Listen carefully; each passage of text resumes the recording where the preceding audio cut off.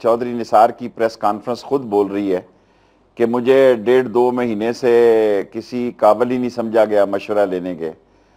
और एक वो फ़िल्म थी पंजाबी की, वो उसमें शो में कहता है कि मैनू कुछ कहो, मैनू कुछ आखो, मेरे को कुछ सुनो, क्योंकि मुझे शौक है। बाबा, ये फैसला नवाज़ शरीफ ने करना है कि उसने किसको लेना है और किसको नहीं लेना। और उन्होंने दूसरी बात जो अहम की है कि ये जो नौजवान दरबारी और ये बाबा, ये लोग बर रास्त मरियम बीबी के अंडर हैं और मीडिया सेल की वो हेड हैं और इसमें कोई ढकी छुपकी छुपी बात नहीं है कि मरियम बीबी और कलसूम बीबी के आप गुड बुक में नवाज़ शरीफ के तो अब नहीं है आप पहले से ही नहीं है। अब जो इस्लामाबाद का मीडिया सेंटर चल रहा है और वो दुबई में लेके गए हैं और जुबैर गवर्नर जो चला रहे हैं, उन सब लोगों को एडवाइस मरियम बीबी देते हैं, कोई और नहीं दे रहा। और उसमें कोई पीटीवी के भी लोग हैं जो कि उनको जो एक्सपर्टीज हैं, उनको हैंडल कर रहे हैं। और तीसरी बात उन्होंने की है, अदारों को बिल्कुल ठीक बात की है। उन्होंने अपने आप को क्लीन चिट दे दी है कि अगर कल नवीज, नवाज़ शरीफ अदारों से टकी कन्फ्रंट्रेशन की बात करते हैं, क्योंकि पिछली कैद भी निसार साहब ने बेगुना काटी। बिल्कुल बेगुना काटी और कैद काटी और शक के आलम में काटी। क्योंकि कलसूम बीबी उस वक्त भी उन पर शक करती थी कि ये मुशर्रफ के साथ मिले हुए हैं अंदर से। और मैंने तो पहले दिन से कौम को कहा था, इस्तीफा नहीं देगा, बड़ा मुश्किल काम होता है जी, तनहा इलेक्शन लड़ना। हमने पाँच पाँच लाशें घर लाए हैं पाँच पाँच लाशें घर लाए हैं। इलेक्शन लड़ना हुकूमत के मुखालिफ आसान काम नहीं होता। और ये कोई मेरा नहीं ख्याल कि ये फाइनल फैसला है कि चौई निसार साहब ने छोड़ दिया है कि जिस दिन फैसला आ गया, क्या पता कल ही फैसला आ जाए। या अगले हफ़्ते या उससे अगले हफ़्ते। और उसमें फैसले में जो सूरत हाल बनती जा रही है, उसमें ये तीनों हजरात, शबाज शरीफ, इसहाक डार और चौई निसार, तीनों नवाज़ शरीफ साहब की गुड बुक में नहीं है। और इनके वालद फतेह साहब, ब्रिगेडियर फतेह साहब कहा करते थे, चक्री वाले, कि मुझसे गलती हो गई जिस बेटे को, निसार को मैंने फौज में भेजना था, उसको सियासत में भेज दिया।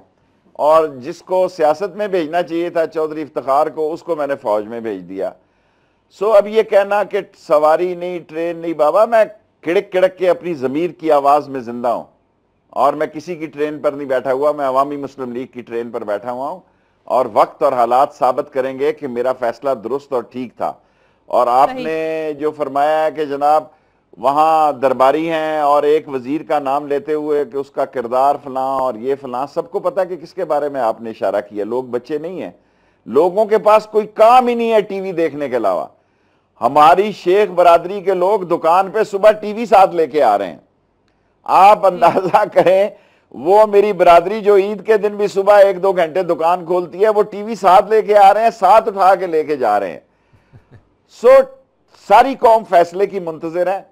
और यही मेरी इस्तदा है कि ये फैसला जल्दी सुनाया जाए ताकि कौम का ये इसतराब ख़त्म हो। और ये कहना एक बात उन्होंने बड़ी अहम की कि फलाने से मेरी लड़ाई हुई फलाने से लड़ाई हुई।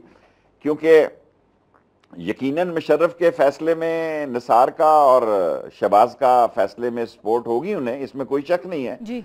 और बाद में जो फैसला उनके भाई डिफेंस सेक्रेटरी थे उन्होंने लिखा लेकिन नसार ने आ, मैं ये कह सकता हूँ कि उनकी कोई इन्वॉल्वमेंट नहीं थी मुशर्रफ के साथ।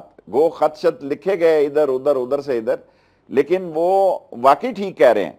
लेकिन जो बात उन्होंने आज अपनी प्रेस कॉन्फ्रेंस में नहीं कर रहे और उन्होंने आज ये भी वजाहत कर दी कि मियाँ नवाज़ शरीफ जो हैं वो खुशामदियों में गिरे हुए हैं और वज़ीर दाखिला से मिलने के लिए उनके पास वक्त नहीं है और उनको अपना मौका पेश करने के लिए टीवी के सामने आना पड़ा।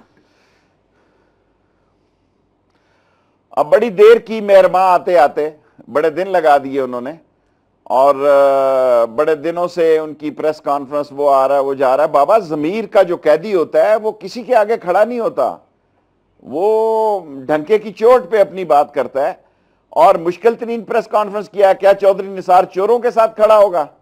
अगर ये हकायक साबित कर सक, देते हैं कि जनाब इन्होंने मनी लॉन्ड्रिंग की और अगर हुदैबिया पेपर का केस सुप्रीम कोर्ट खोल देती है और उस मुल्क में इस मुल्क का वज़ीर खजाना अगर पीछे होता है तो वो जेल जाता है वो खड़ा रहता है तो नवाज़ शरीफ जेल में जाता है।